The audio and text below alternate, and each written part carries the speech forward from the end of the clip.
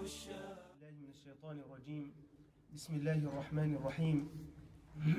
إن الحمد لله نحمده ونستعينه ونستغفره ونعوذ بالله من شرور أنفسنا وسيئات أعمالنا.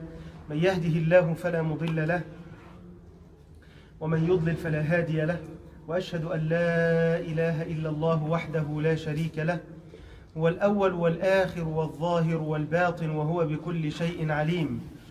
وأشهد أن سيدنا وحبيبنا وعظيمنا وقائدنا وأسوتنا محمدا رسول الله. اللهم صل على محمد وعلى آل محمد كما صليت على إبراهيم وعلى آل إبراهيم إنك حميد مجيد. اللهم بارك على محمد وعلى آل محمد كما باركت على إبراهيم وعلى آل إبراهيم إنك حميد مجيد. أما بعد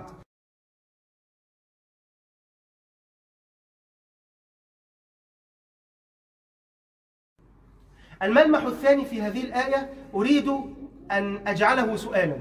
السؤال هو لماذا أهبط الله سبحانه وتعالى آدم إلى الأرض؟ لماذا أنزل الله سبحانه وتعالى آدم إلى الأرض؟ لماذا؟ من, منكم يستطيع أن يجيب على هذا السؤال؟ لماذا لما قال قال اهبطا منها جميعا بعضكم لبعض عدو؟ ما هو السبب الذي به أنزل آدم وأخرج آدم من الجنة وأنزل الأرض؟ ها؟ لأنه لأنه طغى. أبى السجع يعني. لأنه أكل من لماذا؟ والبغي من الشجرة وحيد وال لأنه أكل من الشجرة. من الشجرة. نعم. مرة من المرات كنت جالسا في المسجد وكنت أكلم آه، أحد ال أحد ال أحد ال- الرجال يعني. كان ما شاء الله حج كبير ما شاء الله عليه. وكان المسبحة المسبحة لا تفارق يده وكان عابدا رحمه الله تعالى. وأنا أتكلم معه قال لي جملة اقشعر لها بدني قال منه لله أبونا آدم. منه لله أبونا آدم. إيه يا حج ما بك إيه اللي حصل؟ منه لله ما هو لو ما كانش أكل من الشجرة ما كناش نزلنا الأرض وكان زماننا دلوقتي منعمين في الجنة. هذا غلط فاحش. هذا غلط فاحش. وخطأ عقدي كبير. لو نبالي ونعلم. خطأ كبير جدا. ليه؟ أولا خطأ يناقض القرآن. ويناقض سنة النبي حديث النبي صلى الله عليه وسلم. بل, بل, بل فيه تعدي على آدم. بل فيه تعدي على كل فرد من, أف من, من ذرية آدم. كيف؟ صلى على رسول الله. أولا قال الله تبارك وتعالى وإذ قال ربك للملائكة إني جاعل في الأرض خليفة. هو آدم كان خلق؟ آدم لم يكن قد خلق بعد. قرر الله عز وجل أزلا. أن يجعل آدم خليفة منه على الأرض قبل أن يخلقه. هذا أولا. ثانيا صدر بيان من الحق تبارك وتعالى للملائكة بأنه جاعل في الأرض خليفة قبل أن يخلق آدم. ربنا سبحانه وتعالى قال للملائكة إني جاعل في الأرض خليفة. متى كان ذلك؟ هل بعد أن خلق آدم أو قبل أن يخلق آدم؟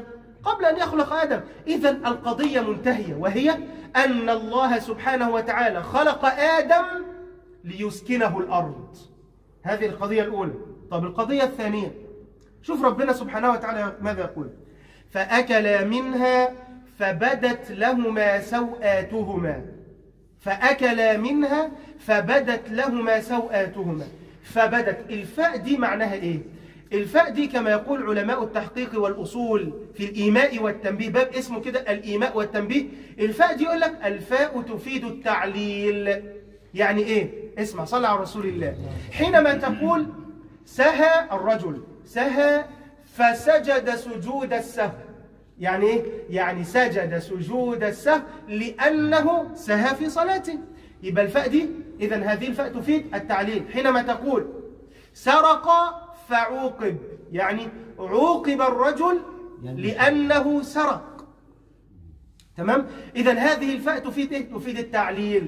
طيب حينما تقول فأكل منها فبدت لهما سوآتهما يلا نجيب من الخ... من ال... من الآخر. بدت لهما سوآتهما لأنهما ها؟ أكل من الشجرة. إذا عقوبة آدم عليه السلام على أكله من الشجرة لم تكن بإنزاله إلى الأرض إنما كانت بإيه؟ ببدو سوآتهما فهمنا؟ يبقى عقوبة آدم على أكل من الشجر. إيه العقوبة؟ فبدت لهما سوءتهم. كانوا لابسين وفجأة الملابس طارت. آه انكشفت العورة وانكشفت السوءة. عقابا لهما على إيه؟ نسيانهما وأكلهما من الشجرة. يبقى هذا هو الأمر الثاني. يبقى إذا الأمر الأول قرر الله أزلا أن يخلق آدم وأن يجعله خليفة من الأرض. ثم صدر البيان بيان من الحق تبارك وتعالى في الملأ الأعلى إعلاما وإخبارا للملائكة بأنه جاعل في الأرض خليفة منه قبل أن يخلق آدم. هو ده الأمر الثاني. الأمر الثالث أن عقوبة آدم على أكله من الشجرة لم تكن بإنزاله إلى الأرض إنما كانت ببدو سوءته وسوءة زوجته. ثم الأمر الثالث حينما تقول لي لما أكل آدم من الشجرة أنزله الله إلى الأرض. صار الإنزال إلى الأرض عقوبة. صح ولا لا؟ طيب. أوليس الله عز وجل قد قال في كتابه وأن ليس للإنسان إلا ما سعى؟ أوليس الله عز وجل قال ولا تزر وازرة وزر أخرى؟ طب أنا ذنبي إيه؟ أنا ليه أخذ ذنب أبويا آدم؟ مش أبويا آدم هو اللي أكل من الشجرة؟ وعوقب بأكل من الشجرة على إنزاله من الأرض؟ هذا كلام أهل الكتاب وليس كلام المسلمين لأنه مقرر عندنا في كتابنا وأل ولا ولا تزر وازرة وزر أخرى. فهذا خطأ عقدي فاحش. لا ينبغي لأحد من المسلمين أن يقول به أو أن فضلا عن أن يؤمن به. أن يؤمن به فضلا عن أن يقول به. إذا طيب ثم أنت تريد مني أن أشعر أن نزول آدم من الجنة هذه الجنة إلى الأرض كان عقوبة من الله تبارك وتعالى. أقول لك آسف. ليه؟ لأن الملائكة قالت ونحن نسبح بحمدك ونقدس لك يا رب. اجعلنا من ساكن الأرض. لقد سكنت الجن الأرض فأفسدوا وسكنت القبائل الأخرى الأرض فأفسدوا. حان الوقت حان الوقت لأن تسكننا الأرض لأننا نسبح بحمدك ونقدس لك. فلو كان سكن الأرض عقوبة إلهية لما تمنت الملائكة ذلك. صح لا؟ ما كانتش الملائكة قالت إيه؟ ونحن نسبح بحمدك يا رب اجعل لنا الأرض. لما سألت الملائكة سكن الأرض لو كان سكن الأرض عقوبة إلهية لما سألت الملائكة أن تسكن الأرض؟ هذا أمر. ثم إن نزول آدم إلى الأرض كان تكريما من الله سبحانه وتعالى. تكريما من الله سبحانه وتعالى وليس عقوبة من الله سبحانه وتعالى. لا تكريم من الله سبحانه وتعالى. اسمع الآية دي. قال تعالى ولقد إيه؟ ولقد كرمنا بني آدم. أول الآية كده. ولقد كرمنا بني آدم وحملناهم في البر والبحر ورزقناهم من الطيبات وفضلناهم. إذا مقدم الآية أول الآية ها كرمنا. وعجز الآية يعني آخر الآية وعجز الآية وفضلنا كرمنا وفضلنا وبينهم إيه؟ رزقنا آه، ولقد كرمنا بني آدم حملناهم في البر والبحر. البر والبحر ده فين؟ في الأرض. وحمل ورزقناهم من الطيبات. الطيبات دي موجودة فين؟